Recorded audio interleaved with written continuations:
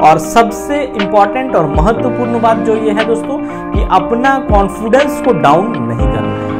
क्योंकि नॉर्मली अगर देखेंगे तो एग्ज़ाम में आप जितना जानते हैं, उससे कहीं ज़्यादा इंपॉर्टेंट रोल प्ले कर जाता है आप कितने कॉन्फिडेंट हैं। कुछ लोग नर्वस हो जाते हैं। नर्वसनेस जो है वो आपके एग्ज़ाम को ले डूबता है। ठीक है इसीलिए आप भले क्वेश्चंस कम ही जानते हैं जितना जानते हैं बट बी कॉन्फिडेंट होके ही एग्ज़ाम में बैठना है। दूसरों को देख के घबराना नहीं है कि वो ज़्यादा कर रहे हैं कम कर रहे हैं। आप अपने आप को बेहतर सोचिए अपने आप को बेस्ट समझ के ही एग्ज़ाम में बैठिए ठीक है? और बिल्कुल कॉन्फिडेंट जो है उसको डाउन नहीं करना है। फुल कॉन्फिडेंट में रहिए कि आपका सिलेक्शन होगा। यही सबसे बड़ा मतलब आ, क्या बोलूँ मतलब मास्टर स्ट्रोक या बूस्टर है आपके लिए। नमस्कार दोस्तों, आप सभी का हमारे चैनल में दोस्तों एक बार फिर से स्वागत है। दोस्तों, आज के इस वीडियो में हम बात करने वाले हैं कि झारखंड एसएससी के द्वारा अगर देखेंगे तो यहाँ पे नोटिस जारी किया गया है जो कि आपका ग्रेजुएट लेवल एग्ज़ाम से संबंधित है। और ये नोटिस दोस्तों, आज के डेट में ही जारी किया गया, यानी 6 तारीख को ये नोटिस जारी किया गया 6 फरवरी 2024 को। ये जो नोटिस है दोस्तों अगर देखेंगे तो इस नोटिस में जो एक्चुअली मेंशन किया गया है तो उसमें ये मेंशन किया गया है कि आपका जो परीक्षा है, खासकर जो ग्रेजुएट लेवल एग्ज़ाम, देख सकते हैं, ये है important notice regarding Jharkhand graduate level competitive examination 2023 को लेकर। यहाँ पे अगर मैं नोटिस को ओपन करूँ दोस्तों तो चलिए एक बार देख लेते हैं ओपन देख सकते हैं दोस्तों, ये नोटिस है छह तारीख को, छह फरवरी 2024 झारखंड कर्मचारी चयन आयोग आवश्यक सूचना। और ये सूचना देख सकते हैं दोस्तों की है, झारखंड सामान्य स्नातक योग्यता धारित संयुक्त प्रतियोगिता परीक्षा 2023 ठीक है, अंतर्गत 28 एक 2024 यानी जिस डेट को पेपर लीक हुआ और परीक्षा इसका फाइनली रद्द कर दिया गया है, को आयोजित परीक्षा में कतिपय प्रश्न लीक होने की घटना के पश्चात आयोग के परीक्षा व्यवस्था के संबंध में कई भ्रांतियाँ एवं अफवाह फैल रहे हैं,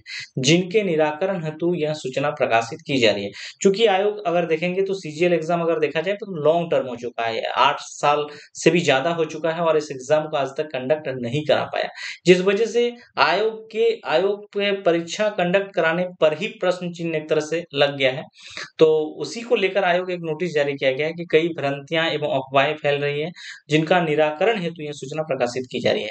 देखिए, उसमें दूसरा नंबर पॉइंट इनमें दिया हुआ है कि झारखंड सामान्य स्नातक योग्यता संयुक्त प्रतियोगिता परीक्षा करीब दस वर्षों के बाद पहली बार आयोजित की जा रही थी। उक्त परीक्षा में लगभग, देख सकते हैं, छह लाख चालीस हज़ार अभ्यर्थी यहाँ पे देखिए। ये रहा छह लाख चालीस हज़ार अभ्यर्थियों को। सम्मिलित होने हेतु प्रवेश पत्र निर्गत किए गए थे।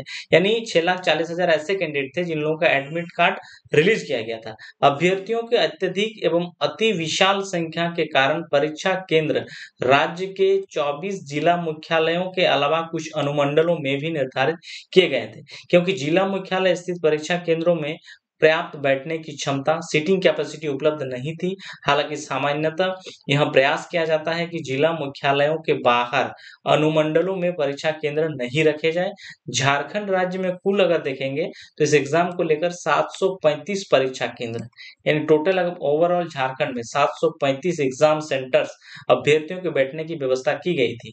आयोग द्वारा इतने बड़े स्तर पर नियुक्ति प्रतियोगिता परीक्षा का संपादन अभी तक नहीं किया गया था, यानी अब तक झारखंड में सबसे ज़्यादा अगर किसी एग्ज़ाम में कॉम्पिटिशन है या फिर नंबर ऑफ़ स्टूडेंट की बात करूँ तो यही एक एग्ज़ाम है। क्योंकि इसमें आयोग खुद ये बता रहा है कि 735 परीक्षा केंद्रों में अभ्यर्थियों के बैठने की व्यवस्था की गई थी और आयोग द्वारा, देखिए ये लाइव आयोग द्वारा इतने बड़े स्तर पर नियुक्ति प्रतियोगिता परीक्षा का संपादन अभी तक नहीं किया गया था। और यह पहली बार किया जा रहा था, संबंधित परीक्षा को शांतिपूर्ण एवं कदाचार सहित संपादन बहुत बड़ी चुनौती थी आयोग खुद ही मान रहा है। और तीसरा पॉइंट में देखेंगे तो उपरोक्त परीक्षा के सफल संपादन हेतु राज्य के सभी उपायुक्तों के लिए आयोग द्वारा निर्गत दिशा निर्देश में संबंधित जिला के उपायुक्त को परीक्षा आयोजन को निमित्त उस जिला के समन्वय कोऑर्डिनेटर नामित किया गया था। उक्त परीक्षा के शांतिपूर्ण एवं कदाचार रहित संचालन सुनिश्चित करने हेतु संबंधित जिला के उपायुक्तों एवं पुलिस अधीक्षकों के सक्रिय निकट एवं व्यक्तिगत नियंत्रण में उक्त परीक्षा का संचालन कराए जाने की व्यवस्था कराई गई थी। इसके बावजूद किसका पेपर लीक का मामला सामने आया उक्त परीक्षा में गोपनीय परीक्षा सामग्रियों का chain of custody transfer of custody एवं परीक्षा व्यवस्थाओं के संबंध में झारखंड के सभी जिला उपायुक्तों एवं पुलिस अधीक्षकों को आवश्यक विस्तृत निर्देश आयोग के अनुरोध पर झारखंड सरकार द्वारा भी दिए गए तो बेसिकली दोस्तों ये जो है उसी से संबंधित सारा चीज़ मेंशन किया गया है यहाँ पे नंबर पाँच और छह नंबर पॉइंट को अगर देखेंगे तो इसको अंडरलाइन कर दिया गया है रीजन ये है कि इसमें दिया है कि ओएमआर सीट से संबंधित स्टेप बाय स्टेप परीक्षा मतलब क्वेश्चन प्रिंट होने के बाद फिर कहा गया, कहा नहीं। ये सारा चीज़ अगर देखेंगे तो यहाँ इसको अंडरलाइन करके यहाँ पे मेंशन कर दिया गया है। और सातवां नंबर पॉइंट देखेंगे तो आउटसोर्सिंग एजेंसी द्वारा परीक्षा हेतु चयनित प्रश्नों का तदनुसार बनाए गए फॉर्मुलेटेड कंपोज तथा मुद्रित कराए गए प्रश्न पत्रों में अन्य गोपनीय। यानी दोस्तों, जिस तरह से होता है, रांची कोषागार में जमा कराए जाने के बाद उनकी चेन का कस्टडी निम्नानुसार है। देखिए, अट्ठाईस को संपादित होने वाली परीक्षा है तो सभी जिलों के लिए परीक्षा सामग्री रांची जिला कोषागार में सुरक्षित रखने एवं जिलावार वितरण करने हेतु तो आउटसोर्सिंग एजेंसी द्वारा 22 एक 2024 एवं 23 एक 2024 को सिलबंद अवस्था में रांची कोषागार को उपलब्ध कराई गई परीक्षा संचालन हेतु 23 और 24 को उक्त परीक्षा सामग्री सभी जिलों को प्राधिकारी दंडाधिकारी को सीलबंद अवस्था में वितरित कर दी गई।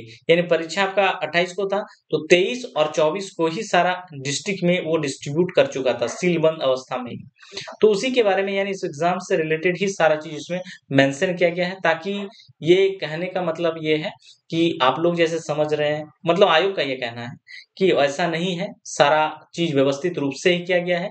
इसके बावजूद क्वेश्चन पेपर लुक हुआ है तो उसी से रिलेटेड ये बेसिकली नोटिस दिया है, ताकि लोगों को ये ना लगे कि आयोग इसमें सम्मिलित है। आयोग कहीं ना कहीं ट्रांसपेरेंट है इसको इसको लेकर। तो बेसिकली दोस्तों, इसी को लेकर यह नोटिस जारी किया गया आयोग की तरफ़ से और ये रहा सीज़न से संबंधित अपडेट जो भी है।